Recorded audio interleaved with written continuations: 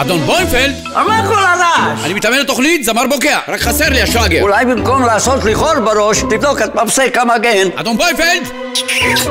אתה גאון. בודק את המפסק פעם בחודשיים, רואה את האור כבה, שמח שבעתיים. יפה תקה. מומלץ לבדוק את תקינות מפסק המגן פעם בחודשיים. האור כבה, המפסק תקין. בסיום הבדיקה יש להרים את המפסק כדי לחדש את אספקת החשמל לבית.